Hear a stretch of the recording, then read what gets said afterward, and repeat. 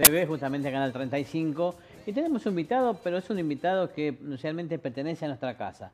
Está Víctor García, un reconocido periodista que, que tiene temas importantes como es la economía, la industria, pero también tiene otro hobby que es la de escribir. Este es su cuarto libro, justamente Víctor García, y, y decidió llamar Recuerdos y un puñado de porotos verdes. ¿Cómo estás, Víctor? Bueno, gracias por acompañarnos en el estudio Canal 35. Hola Jorge, muy buenos días a todos. Y realmente es raro estar en esta posición de... Sí, estamos acostumbrados en el otro lado. De ser al tipo que le preguntan, ¿viste? Pero bueno, sí. Eh, mm, otra de, de, las cosas que, que hago en, en, por ahí en los tiempos libres es escribir y hacer algo de literatura me defino algo así como un aprendiz de escritor porque eh, no, no, llego, nunca tendría todas las competencias para hacer lo que hizo eh, aquella persona que se capacitó y que se formó para hacerlo como tal, pero bueno, pero nos, está, que te corte, Víctor, nos estamos defendiendo. A pesar de que no tenemos experiencia de tantos otros escritores, pero lo que haces lo haces con mucho cariño, con mucho amor, porque lo sentís y porque los querés expresar justamente en un libro como este. Sí, gracias. Y bueno, así salieron mm, cuatro, es el cuarto libro, dos en formato papel, eh, salieron una antología virtual que salió a finales, a principios del año pasado, después eh, sacamos un audiolibro que también eh, estuvo integrado con otros eh, con otras eh, personas que escriben también y de esa forma pudimos eh, mostrar un poco lo que se hace. Y este es, el, un libro de cuentos y de relatos donde mm, se expresan diferentes temáticas que va desde lo mm, netamente social, periférico, comprometido, hasta algunas anécdotas de cuando era pibe y cuando vivíamos allá en calle 14 y la ruta 40 en, en Posito y con un gran amigo hacíamos nuestras diabluras que han quedado reflejadas en, en alguna de, las cosas. Y por último, hay una especie de monólogo que se llama El puñado de, porotos verdes. En realidad el monólogo se llama Odio a los porotos verdes. ¿Cómo, nació esta idea de ponerles, por ejemplo, ese título justamente? Porque era la única forma de, hacer algo más curioso, algo que, que, enganchara. Que te llame la atención a que te invite a leerlo justamente. Claro, porque el último, el último mm, relato que hay habla de una situación de mi vida personal, cosa que es cierto, odio los porotos verdes. y por una cuestión mm, que nos tocó vivir en, en mi familia en su momento, eh, era la década del 80, 83, cuando la hiperinflación de Cabal, de, Alfonsín, perdón. Y eh, en casa mi viejo agricultor, eh, con los costos que subían de manera constante, la situación no era crítica. nos costaba llegar a la lona, o sea, estábamos muy abajo, estábamos con muchísimos problemas económicos. Y lo que había eran lechugas en el campo de papá y porotos verdes. Por lo tanto, en nuestra dieta, por bastante tiempo... No había muchas opciones, digamos. Estuvo, estuvo sustentado mucho en, estos porotos verdes, ¿no? Y yo dije en algún momento, si estos desgraciados, eh, yo la puedo tener una mejor calidad de vida, a estos desgraciados no los como no, más. dejo de, lado. de hecho, no los como, ¿eh? Así que bueno, ahí se expresa un poco esto. Y bueno, lanzando este libro, mm, que realmente se presenta eh, el darse el, eh, gusto, el poder llegar a, quienes se interesen por esto, porque no lo vamos a vender caro, vamos a venderlo a 500 pesos, accesible, y con las posibilidades de, demostrar lo que uno hace más allá de la vida profesional y de la vida eh, de periodista, porque bueno, si usted mira la parte dura de la economía, de la agricultura, del campo, que es un poco eh, donde yo tengo mayor fortaleza, eh, dista mucho de la parte literaria, de las cosas como se cuentan, de los sentimientos, de mm, los aspectos que hacen a la ficción. Yo sé que para un periodista muchas veces se, complica bastante escribir un libro porque el día a día es, mucho más, más activo, más violento y estás pensando justamente en, escribir la nota para que le llegue al público eh, en general y que la pueda entender. No es fácil la vida del periodista, pero siempre quedarse tiempo justamente para escribir un libro como este. ¿eh? El tema es que llegás partido a casa. Seguro. Y a veces te tomás unos mates y ¿qué haces? Volvés a encender la computadora y seguís escribiendo. Más en el caso de los periodistas gráficos como nosotros, ¿no? Eh, y por ahí como que eh, la gente común y corriente, los seres humanos, ¿no? como, como los denomino yo, no entienden esto de que uno después de trabajar mm, toda una mañana o toda una jornada laboral, llega casi y sigue escribiendo. y el que le gusta lo sigue haciendo, lo hacemos con amor y contamos cosas que realmente pueden, pueden ser interesantes. La verdad es que el periodista es más o menos eh, a la vida que lleva el docente. Tu trabajo no termina cuando salió de acá del diario, de la radio, de un canal sino que sigue.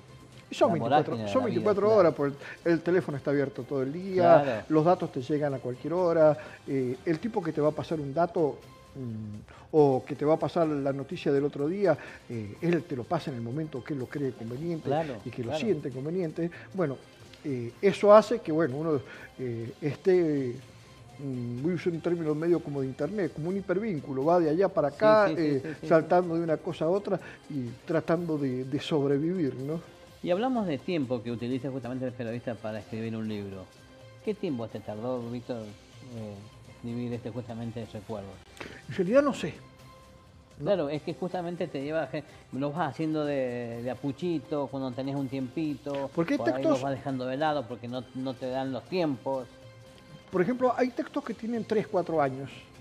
Y hay un cuento que se llama Cuento del Hambre, eh, que debe tener unos 5 años. Eh, después, eh, en tiempos de pandemia, el año pasado, mm, donde vivimos una situación muy caótica, muy crítica, donde todos estábamos asustados, nació un cuento que se llama el, el, beso del futuro, que tiene que ver con un, una, parábola que hice ah, yendo hacia el futuro, pensando que esto del COVID eh, en algún momento tenía que terminar, pero eh, la ficción llevó que se fuera postergando en el tiempo, en el tiempo, en el tiempo. Bueno, eh, tiene que ver con esto de los tiempos de COVID. Después nació en esos tiempos también otro cuento que se llama El virus de la verdad. Qué título, ¿no? también relacionado con esto de los virus, ¿no? Pero con, algunas otras perspectivas. Después hay otro cuento que eh, se llama Lejos de la Libertad, que debe tener como 5 o 6 años, eh, que realmente, por eso te digo, no sé cuánto tiempo eh, me llevó escribirlo. Por ejemplo, cuando escribí la primera novela que se llamó Los Excluidos, que tuvimos la suerte de publicarla en, España a través de, de Planeta Albi, es así, te puedo cuantificar porque eh, me puse a escribir la historia y todos los días le ibas metiendo un poquito y hasta que llegó el momento en que la historia no continuó más, se terminó, se publicó el libro y salió lo que salió. Mm, pero en esto de los cuentos y relatos llegó el momento en que tenía mucho material, aún me queda en casa. Seleccioné lo poco que tenía, elegí se lo llevé a una amiga, a Eve Andraca, lo revisó, le encantó muchos de los cuentos, me hizo algún par de sugerencias y le saqué un, par de cosas porque ella me lo sugirió. Y después eh, caí, eh, después bueno, con el tiempo hicimos la, hice la compilación y gracias a Jacqueline Barraza eh, de Letras Misteriosas, que fue quien lo editó y quien hizo el trabajo del diseño de tapa junto a su hija y demás, eh, salió lo que salió. Y salió este, este productito que, bueno, que se llama Recuerdos y un puñado por otros verdes. Víctor, em, sin duda que esto es eh, parte, como vos contaste, parte de tu historia de vida, pero dicen también el refrán que no hay dos sin tres en tu caso no hay 4 sin 5, ¿estás pensando ya elaborando o imaginándote un nuevo libro? No, en realidad eh, es difícil, eh, cómo, lo tengo que definir muy desde, eh, muy desde adentro, muy desde lo personal, mm, yo siempre escribí y nunca publiqué. Recién publiqué eh, cuando tenía 40 años, el primer libro. Y eh, ahora tengo 48. Y a partir de ese momento, de la publicación del primer libro, apareció como una especie de adicción por escribir, escribir, escribir y tratar de publicar algo más. a tu respuesta, sí, ya estamos trabajando en algo. Mm, pretendo que sea una novela y vamos a ver qué sale. No me puedes contar nada. No, no, te voy a nada. Que sea una sorpresa. No te voy a contar nada, porque eh, realmente por ahí en algún momento estoy escribiendo la historia y la historia se frustra o deja de tener sentido. Y tenés que cambiar la idea. Y va a quedar en, va a quedar en, la papelera de la compu. O sea, por eso es, eh, estamos trabajando, estamos armando algo, eh, viene creo que bastante bien, pero veremos qué sale. Víctor, te voy a meter en lo personal, ya prácticamente, yo sé que tenés la suerte de tener los dos papás vivos. Eh, ¿Qué dicen ellos? ¿Te apoyan? ¿Te colaboran en lo que necesitas?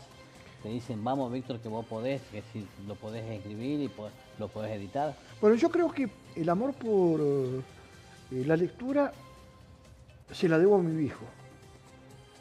Mi viejo es un lector empedernido, es un adicto a la lectura. Él, eh, todas las cosas que yo le llevo las lee. Mm, algunas cosas las lee. Ojo, mi papá es un tipo que eh, terminó la escuela primaria. Eh, para que tengamos en cuenta su formación, ¿no? Pero el tipo a lo largo de su vida leyó, leyó de todo y eso me lo transmitió de alguna forma, porque yo recuerdo desde muy chiquito mm, leyendo la historia de Paturuzú o de Paturucito, eh, sentados en la galería y él explicándome algunas cosas.